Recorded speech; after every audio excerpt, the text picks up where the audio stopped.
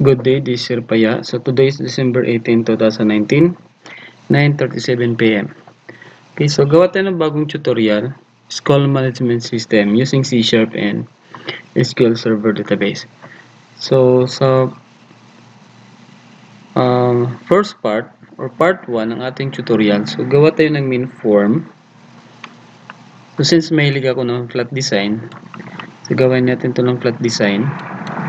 So sa text is um, tanggalin lang natin yung if remain. Then start position, set to center screen. And then the um, form border style, set natin to fixed angle. Then control box to false. Okay? And then the font size, I mean font style natin, So, gamitin ng calibre and then uh, 10.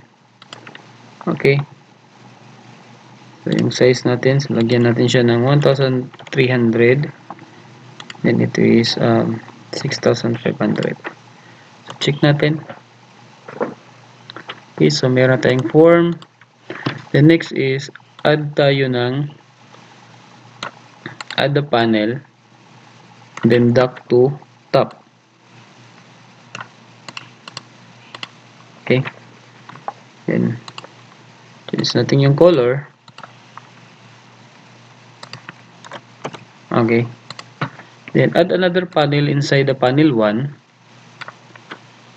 And then, duck natin to, to right. Okay, so dito natin lagay yung ating menu strip. So, at ng menu strip. Ayan. Then, duck select to and fill natin. So again ito yung font natin. So change natin to calibre and then 10 okay? So set natin to to enrollment. Then this is uh, management. Then this is um, manage student then manage teacher manage schedule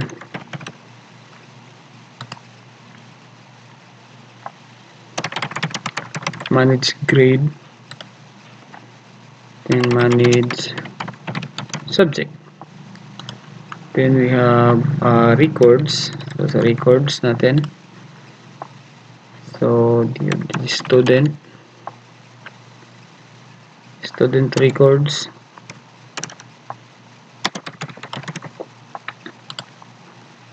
Then we have the enrollment history.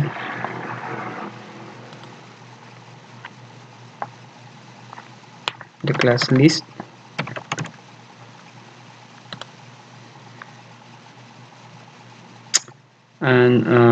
archive. So this is maintenance. So sa maintenance add natin. Um, academic year. Yan. And this is strand so yung gawin natin enrollment system is for uh, senior high school. Then section then of course um, add tayo ng add tayo ng requirements. So this maintenance. Then settings natin. So school school settings then we have the account settings. Of course we have the backup and restore.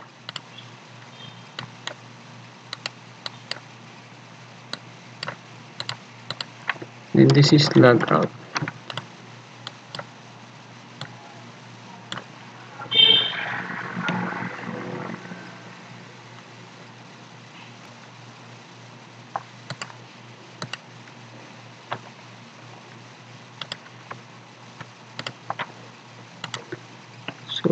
Yung program. Okay. And of course, uh, this is menu strip. Strip 1 dot um, background color color dot from P then minus strip dot for color color dot white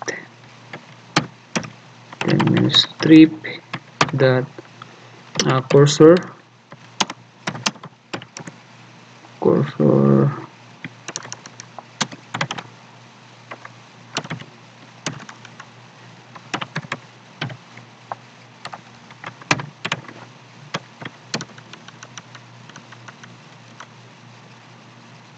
So anong meron dito sa cursor. Meron ba siyang hand dito check natin if meron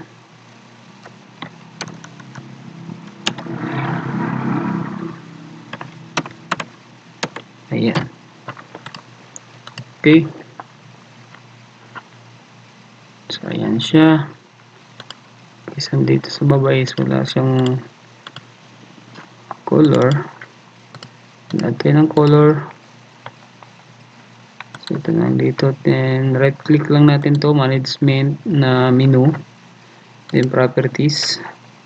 So, sa properties, meron ditong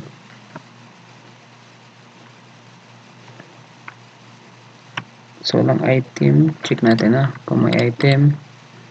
Yan sa properties.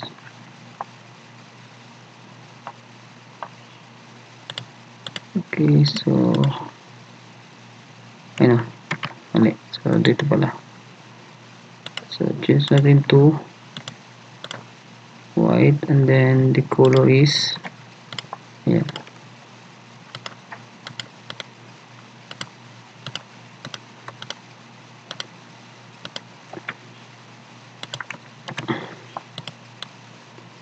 and check dito white so sa records this is white the fore color is white. Then the back color. Okay. For maintenance back color and then the fore, fore color is white. Settings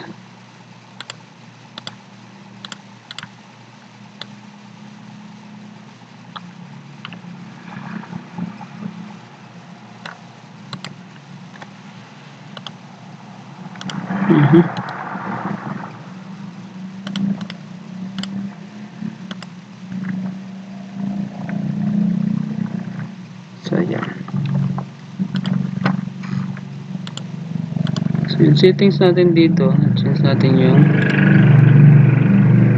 i-block lang natin para makikita natin. Um, hindi white. Control C na lang. Okay, so meron tayong menu for enrollment natin, enrollment system. So, na natin dito ng label. Is bold 12. So, yung name niya is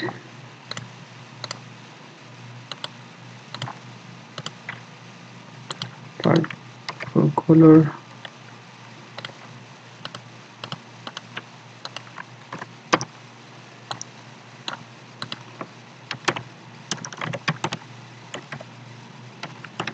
enrollment management system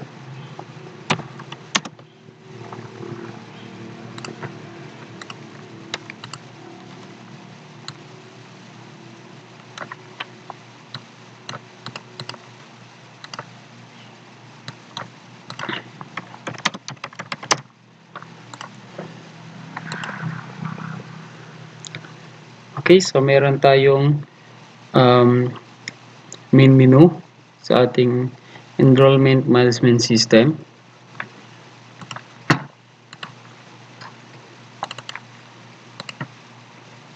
So, try natin gumawa ng another form. BTN ano, um, kaya muna tayo dito ng panel. Then si panel, i-dock natin. Okay, so yan. So this is panel 3. Okay, so dito natin ilagay lahat ng uh, form natin. Then add tayo ng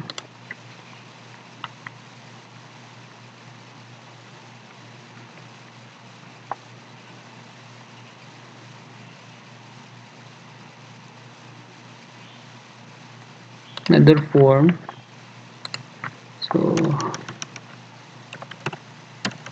if or m. So una is the academic year. Academic year. Okay?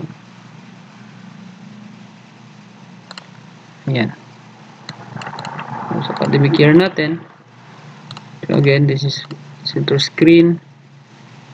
Then this calibre then the sizing is fixed single. And then we have a control box set natin to false. Okay.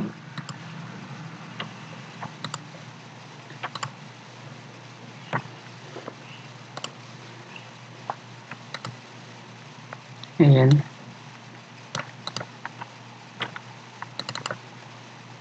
so pag click natin yung academic year. Change natin yung name to Ino EY um, FRM academic year.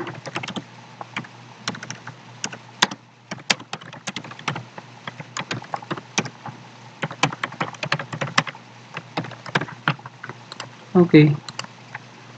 Try natin yan. So dito natin lagay yung ating academic year. So try nating lakihan yung academic year natin. So for example uh, maximize natin siya. Then dito sa main natin. Okay so dito um, academic year.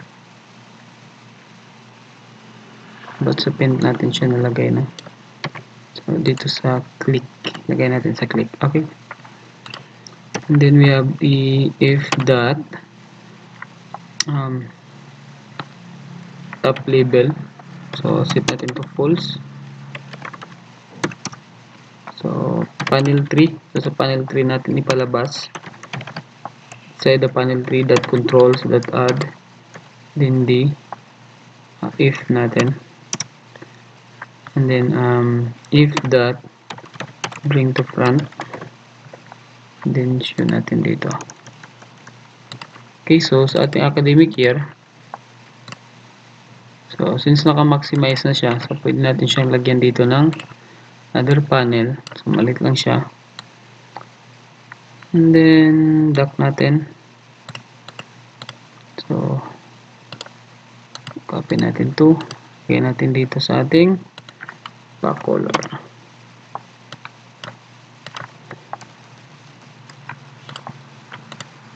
lagyan natin siya ng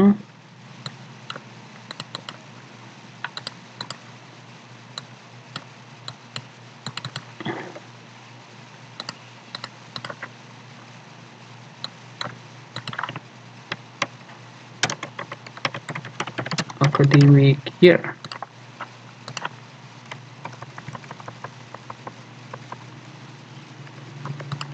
Of course sa kabila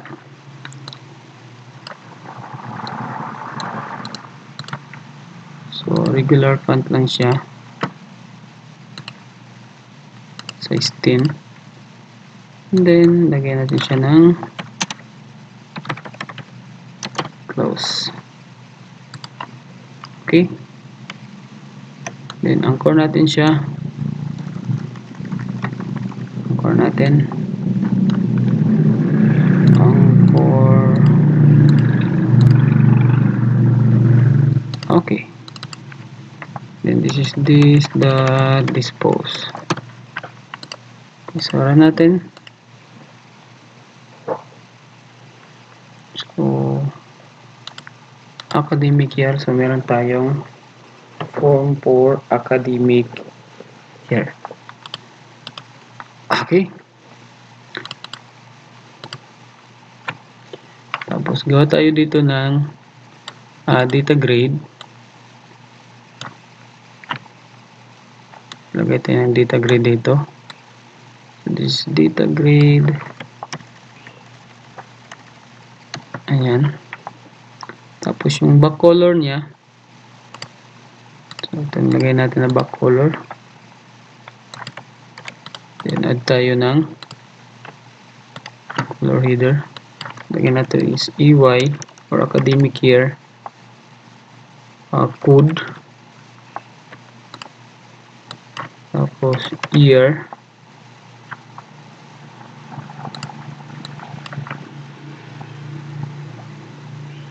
And then the term.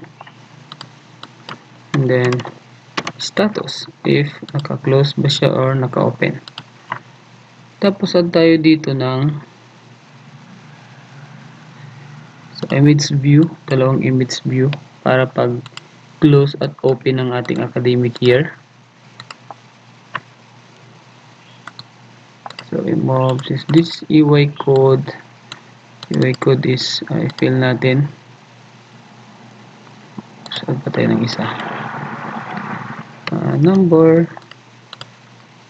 Then, this is all cell. Year natin is naka-all cell rin. Term, naka-all cell. Status, all cell. And then, all cell. Ito rin cell. Okay?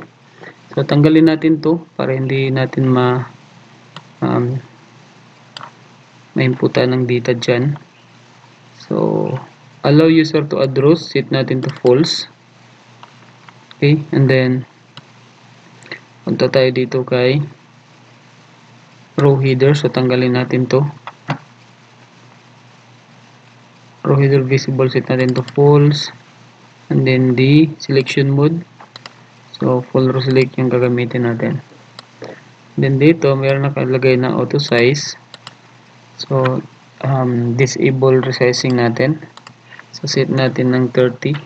Ayan. And then, sa ating um, enable headers visual style, set natin to false. Ayan. So, ayan. And of course, ating default cells. So, dito is naka highlight so ayan. Change natin to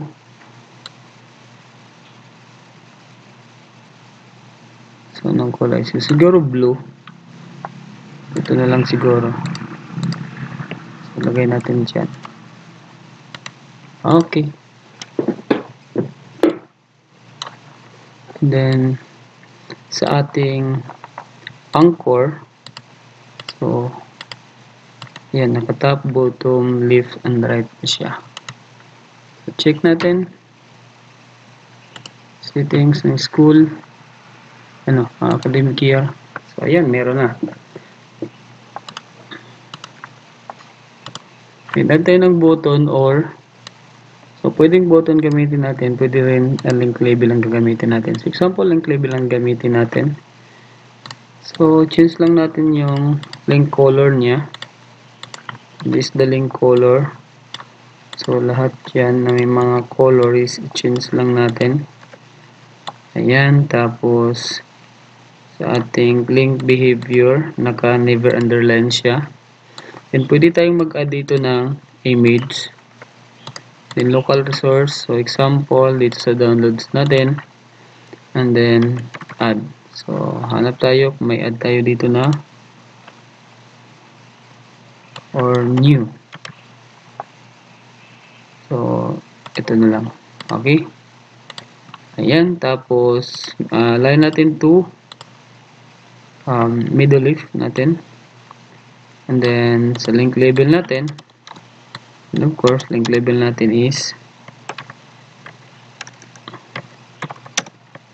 add new so siguro atin bigyan pa ng space Okay? Then, of course, yung cursor niya, so naka-default, so change natin to hand. So, ayan, nakadesign na tayo ng para sa ating academic year. Okay? Then, again sa close, ito rin is yung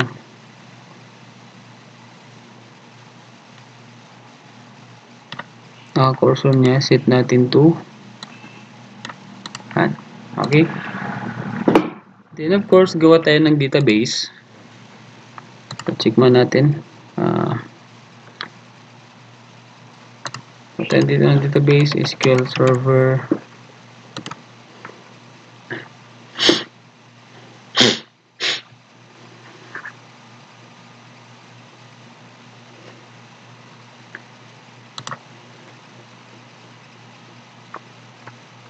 So, add tayo ng database. New database.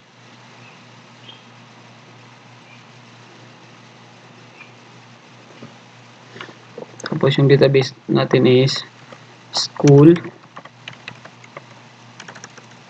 This is school management system DB. Okay.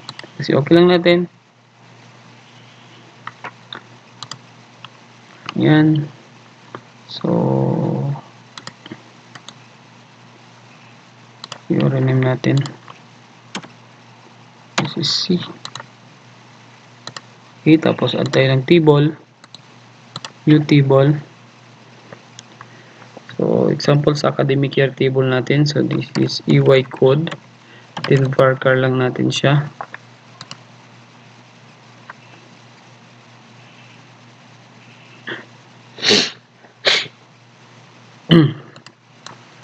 so, varchar.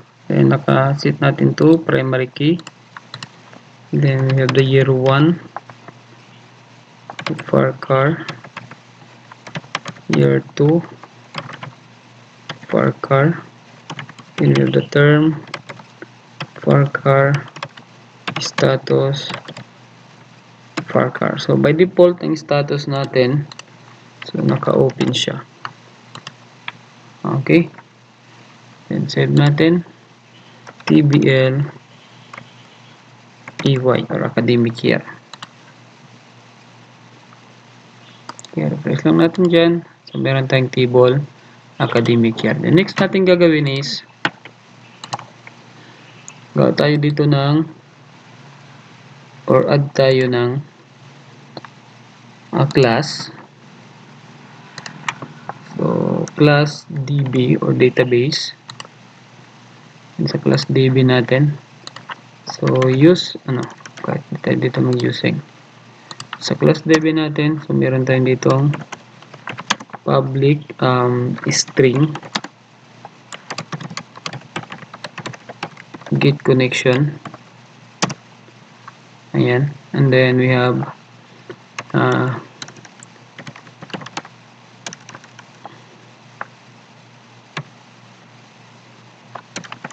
try then catch exception x. Then so catch natin. So return.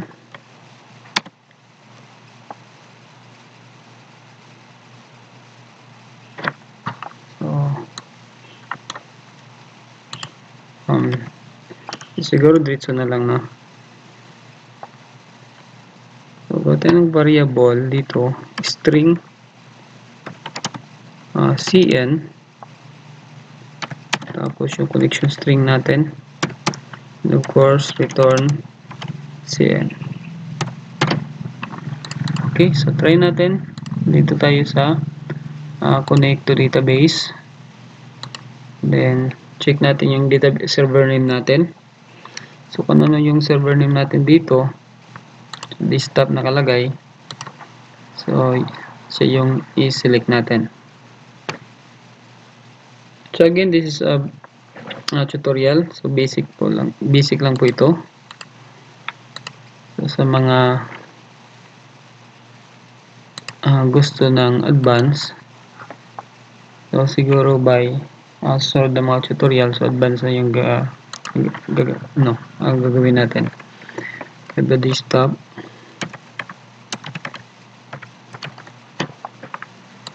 Okay, this is desktop.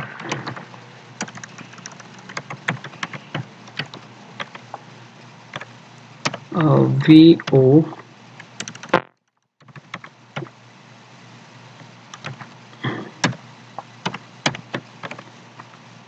VO1A, VO1A, then 4F, ano, then uh, 4F1A, 4F1. Okay, so press natin. Check natin yung ating database kung makita natin dito.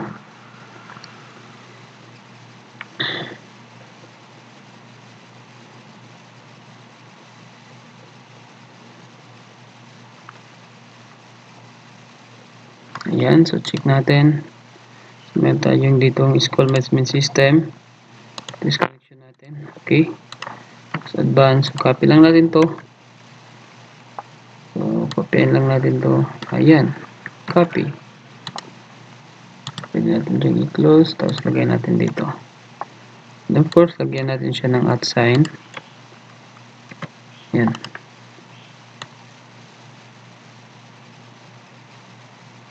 Okay, wala na. Wala naman kasing uh, backslash na ginamit natin. So, pwede lang yan. Okay. Tapos, sa main form natin, so, siguro tawagin natin dito. Open up uh, pagload ng form. Ano, uh, dito sa ating academic year. So, add tayo ng another form.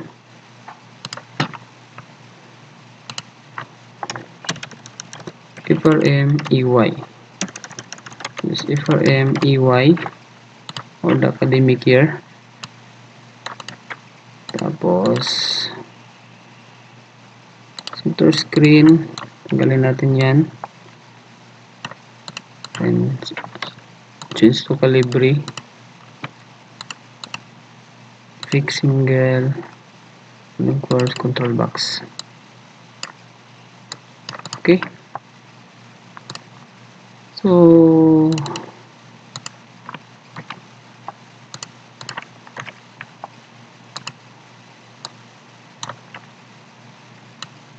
colors, lagyan natin ng black. Hindi black. Ah, ito lang siguro. Yan, academic year.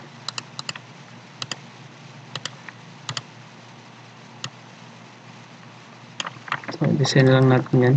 So, hindi po tayo gumamit ng framework. So, siguro sa mga next natin, ano, sa later part ng ating mga tutorial natin, so, gagamit na tayo ng framework. So, for meantime, ito muna yung gagawin nating design. And the academic year and then the close button. This, that, dispose. Para ma-close yung form natin. And of course, add tayo dito ng um, year 1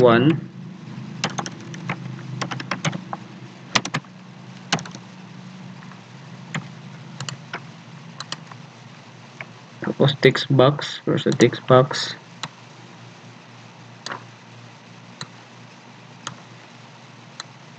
ayan.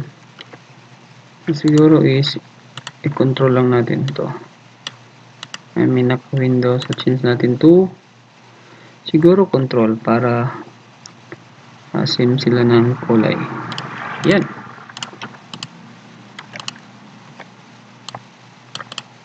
Then this is year 2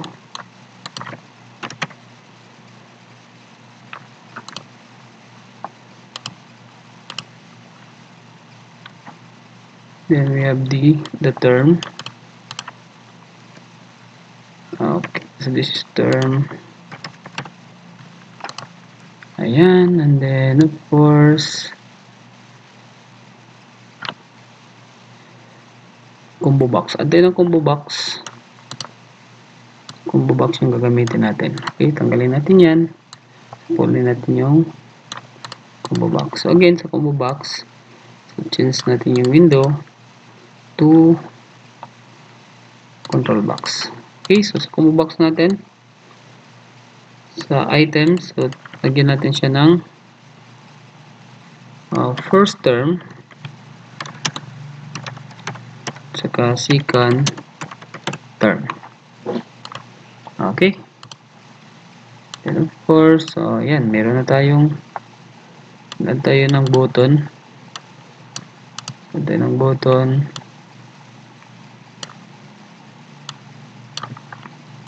Button, uh, save. Tapos, so, cut design natin. Flat. And then, yung kulay natin is ito yung gagamitin natin. Lagay natin dito sa ating back color. Then si D full color, change natin to white. Then of course, sa cursor niya, lagay natin siya ng hand. Then change the name to PTN save.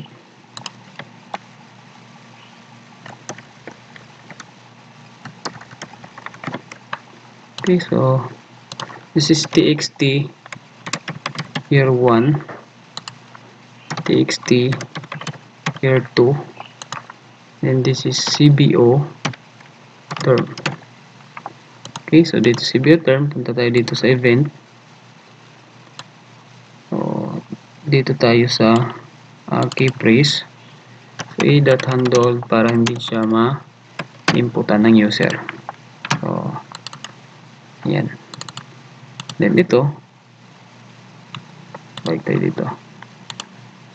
Dito sa ating year 1, so, try, then catch, exception ni x, then txt year 2 the text or that clear kung may error. So pag wala txt year 2 the text um, c on long dot parse and then takes the year 1 the text last one. Okay so then of course so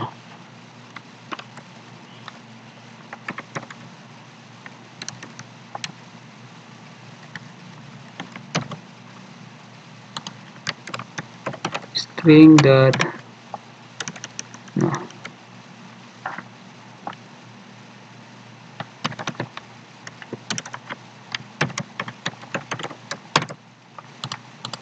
so ayan yung mag-convert to string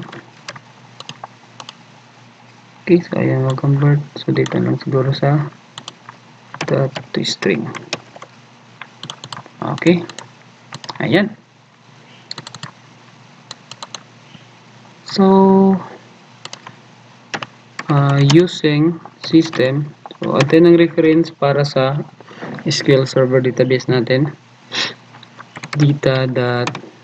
data.sql client. Tapos atin ang dalawang variable. Uh, by SQL connection.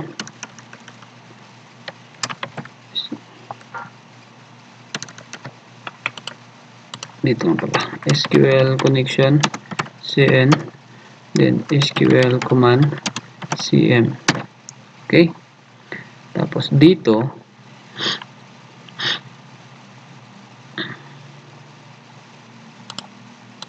so tawagin natin tong si class db plus db din db new plus db okay tapos si yung connection natin is cm dot connection string.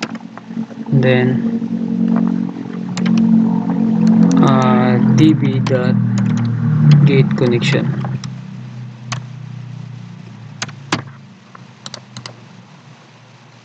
or cm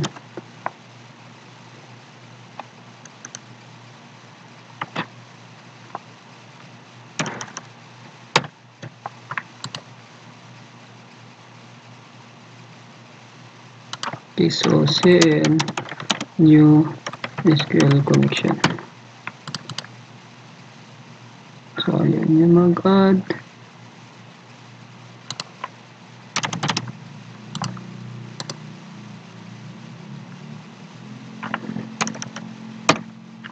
Send that connection string and then no invocable member string cannot be used like a method.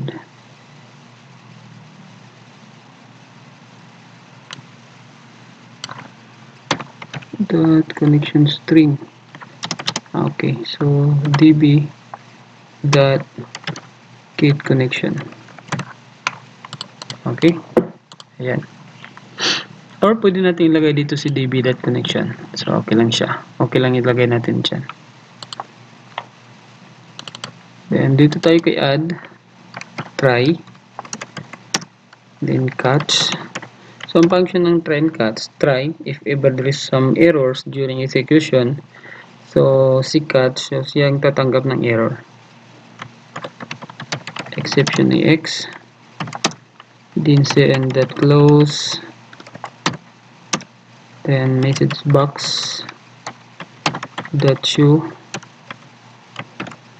um, x dot message. Warning. Then message box button dot okay message box icons dot warning. Okay. Tapos dito gawa tayo ng variable string. Then uh, ey code. Then uh, txt year one dot text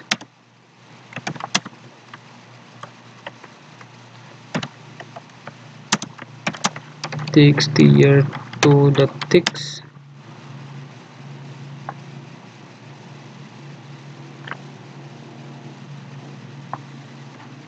plus and then the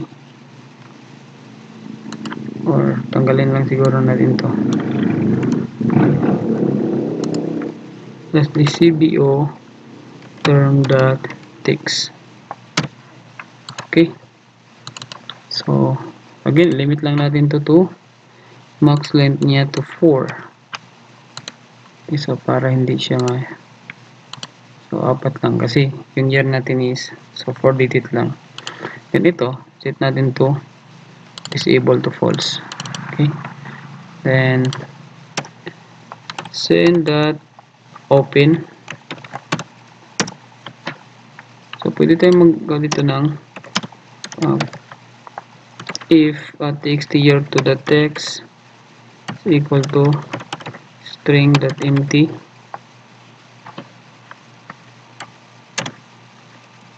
or text here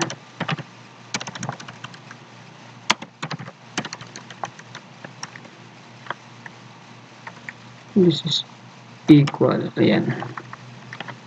Or txt ayun yung mag or or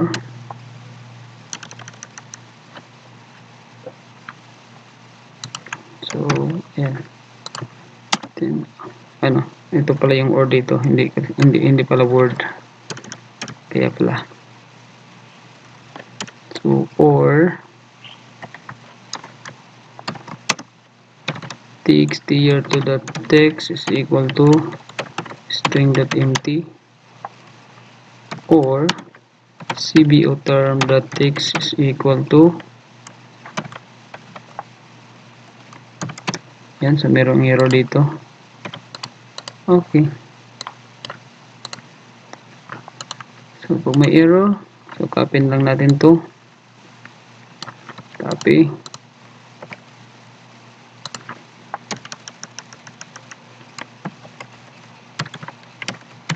required missing field.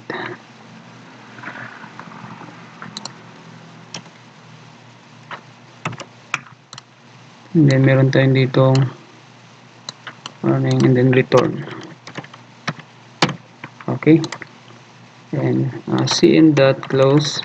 So if ever walang error, so dito tayo sa ating skill statement cm new SQL command then insert. Into. So name ng table natin. Name ng table natin is uh, tbley tbley then lagyan natin dito si ey code.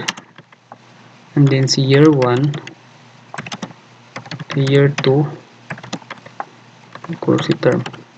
Okay, so dito si status is by default naka-open siya. So once na mag-insert tayo ng bago, so lahat ng mga previous uh, school year niya is i-close niya. Okay? So before tayo mag-insert, add muna tayo dito ng isang SQL statement.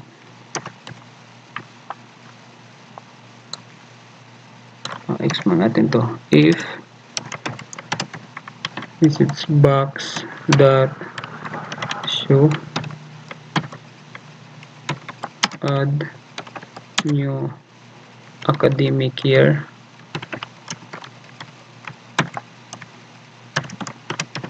Message box button dot yes no. Then message box icon dot questions equal to dialog result dot yes so pag yes. Ayan so lang title dito. So lagyan lang natin siya ng title. Pwede ng variable para sa title. Uh, string.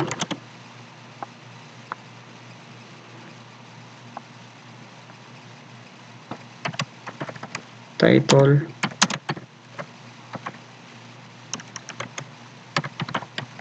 School management system okay so dito lagyan natin siya ng title so hindi yung warning so title lagyan natin dito um, title dito rin so lagyan natin siya ng title Then dito rin lagyan natin siya ng title. Okay. Tapos copy natin dyan. So, nice, i-close muna natin if may mga naka-open na school year. So, update. Tbley set status. To close. And active connection.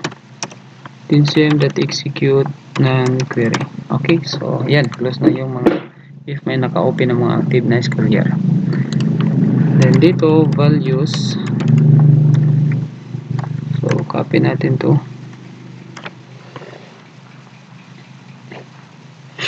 so actually pwede tayong gum uh, gumamit dito ng store procedure so example try natin gumamit ng store procedure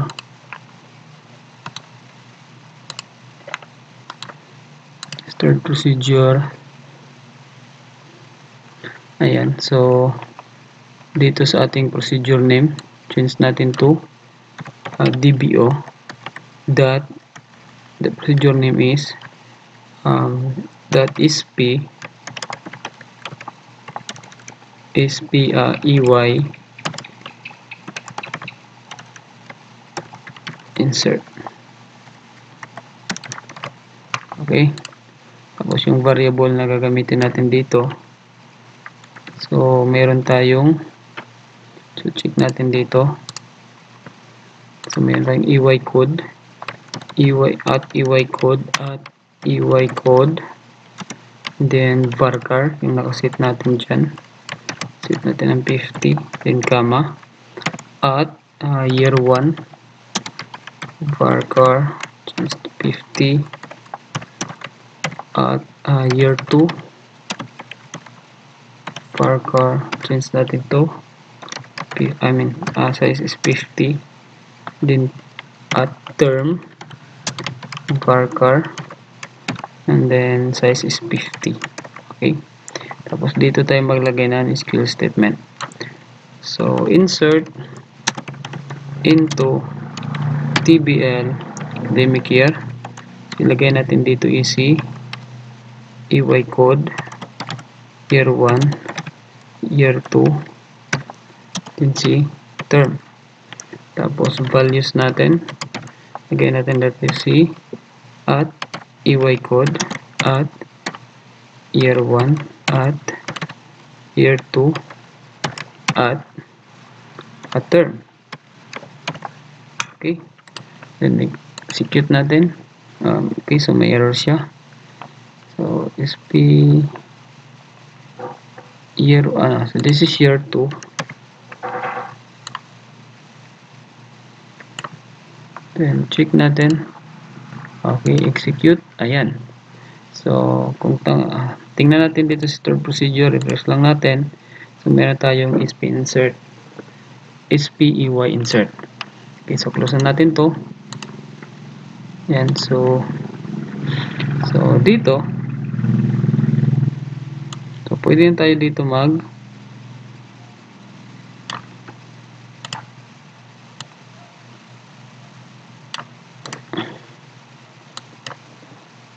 tanggalin natin to. Ayan. So lagay natin dito is cm that uh, connection.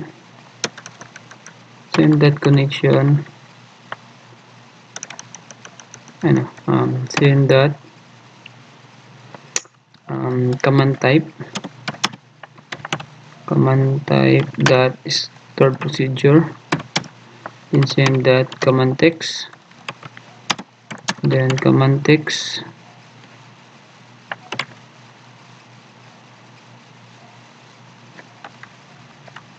command okay so lagyan natin dito easy SP and then EY tapos insert.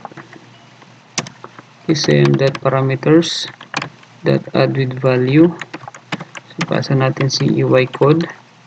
So then this is the ano this is a EY code so take note ha kung anong variable na ginamit natin dito. So for example gumamit tayo dito ng EY code at EY code at year at year 2 at term. So ito yung mga variable rin na gagamitin natin dito. Okay. Then this is um, year 1 year 2 then the the term and the this is txt year 1 the text and txt year 2 the text. This is cbo term dot text. And of course cm dot execute non query. Okay tapos. Message box tayo dot issue. Then new academic year has been successfully uh, saved. Uh, title message box button dot okay message box icon dot information. Okay. And after that gawa tayo ng procedure dito na click on taas uh, public void. Clear. So clear lang natin si txt year 1 dot clear.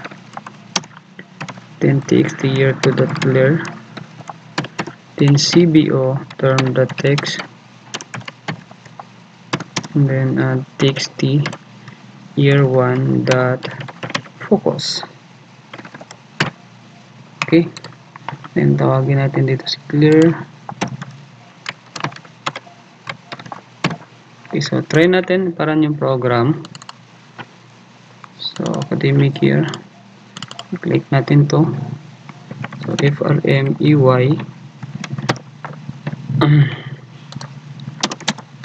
new frmey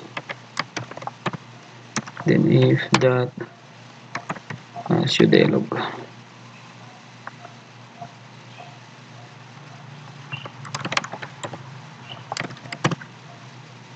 show dialog okay. Run natin yung program.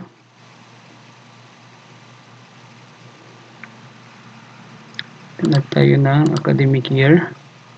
Then add example uh, 2019 to 2020 school year is first term then save. So add new academic year yes.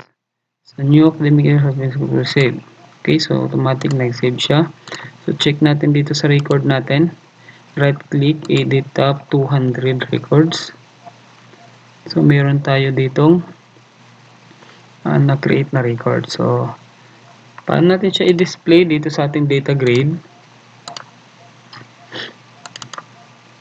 Okay, so dito, um, F7 tayo. So, pag natin ng reference para sa ating MySQL data dot, I mean SQL serve, SQL client. Tapos, create tayo dito ng SQL uh, connection CN, SQL command CM, SQL data reader DR. Tapos, uh, DB class or class DB, class DB, then DB, then new class DB.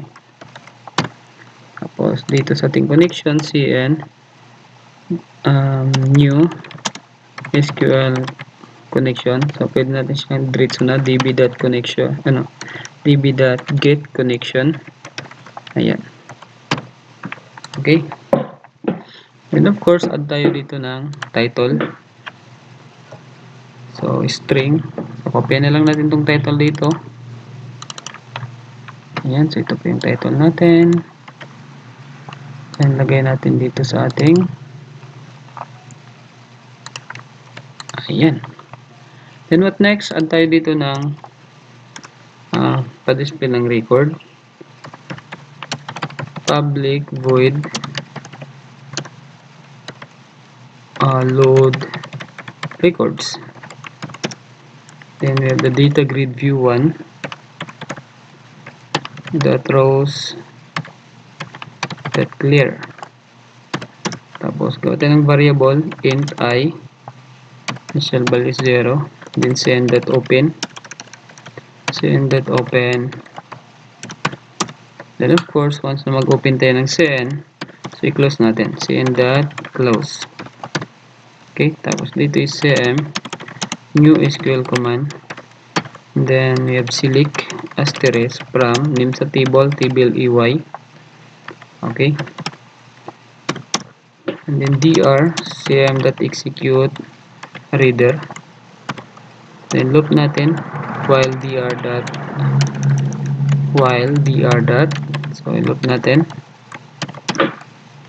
Then of course nag-open tayo ng dr then close the dr and the data grid view 1 the grid view 1 that rows that add So, gawa tayo dito ng variable.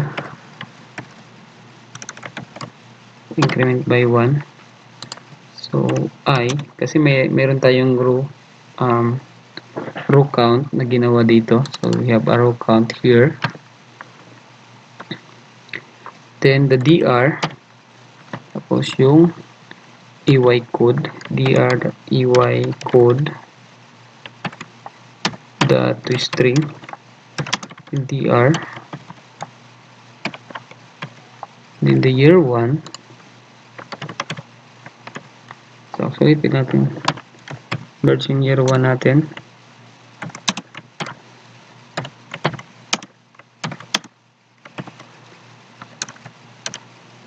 plus uh, plus dr 2 so this is double quotation. Double quotation. Dot to string. So wala tayong ditong. And then the last one is ano meron pala. Dr the no, dr uh, or dr term. Dot to string. In dr status dot to string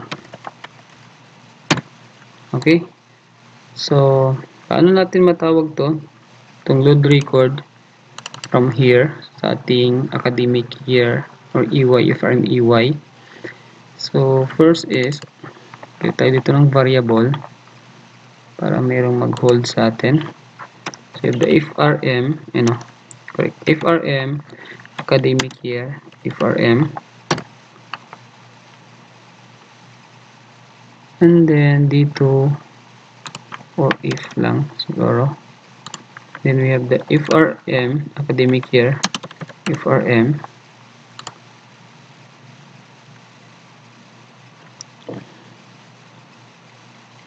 ano so hindi dito sa component. Dito. Or kahit if then uh, this dot if equal to if okay? Then of course dito may nabago. So lagyan natin siya ng this.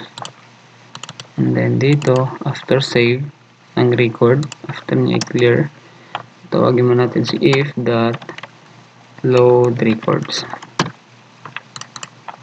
So dito rin sa ating academic year tawagin natin si if dot load records okay so check natin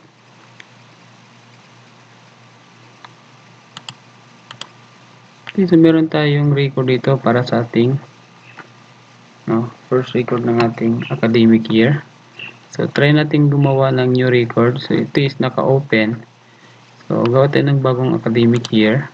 For example, at 2019-2020 and then second term. Kasi pag first term, so hindi po siya mag-save.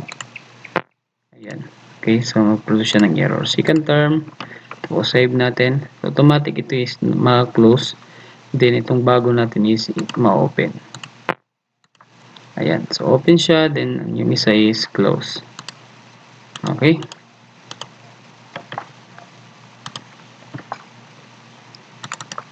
Then, dito sa ating academic year. So, change natin yung background natin. Dito sa ating column. Okay, so dito. Background natin is background color ayan so check natin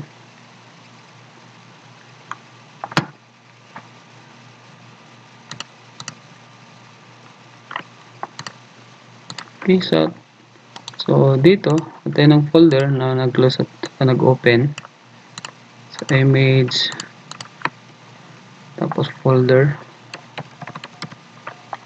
Hanap tayo folder na naka-close at saka naka-open. Siguro yung arrow na lang siguro.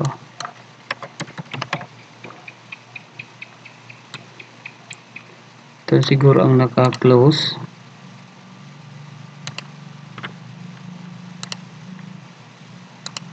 Ito yung naka-open.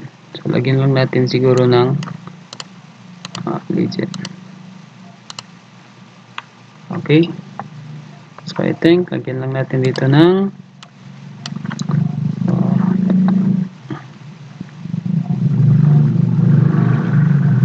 tama. Lagyan natin dito ng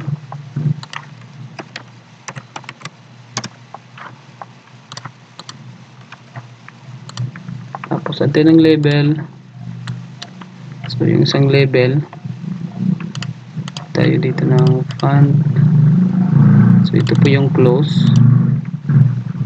So, yan. Tapos, this is close.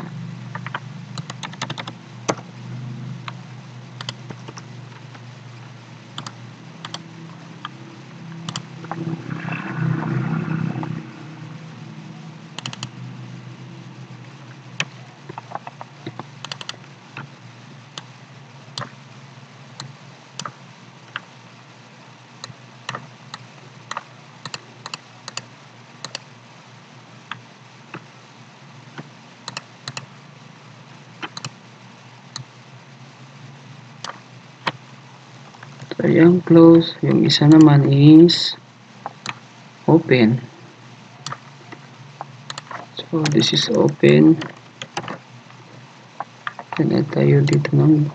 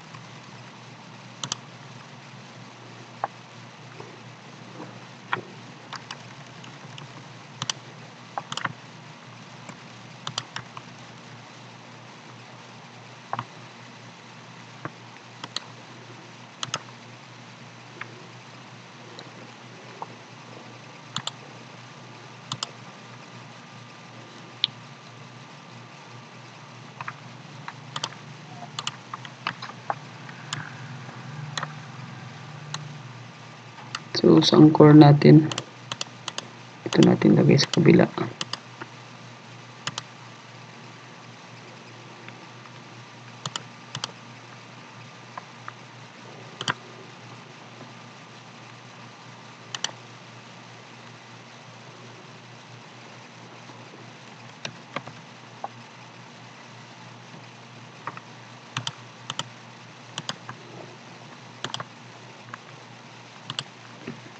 Okay, so ayan na, gawa na tayo ng uh, gawa tayo ng first module sa ating enrollment management system. So, again, thank you for watching sa mga bago pa lang sa channel ko. So, ako pa yung nagtuturo ng mga uh, basic programming kung paano gumawa ng simple system using C Sharp and VB.NET. Then, uh, siguro po may time tayo is gagawa rin tayo ng Java at saka sa um, Android Studio. So, kung paano natin i-integrate yung .NET sa Android Studio natin.